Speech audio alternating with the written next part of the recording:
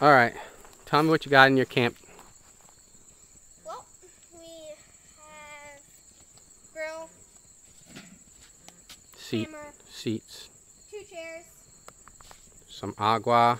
uh, pockets, lots of pockets to hold things. True. Uh, tarp, hammock. Then we have a mosquito net, grapes, which are just sitting there. I'm actually going to use the grapes uh, to get a smoky flavor out of them for the meat when we grill, when we barbecue. Yeah, tent for our guests, right? Forks and knives. Yeah, Tea, which Daddy adores. yeah. My favorite thing in the world is tea. Cooler. Not that much stuff. So Our cooler-. Our cooler carries forks, knives, napkins, rolls, and then trash bag, we've got wood.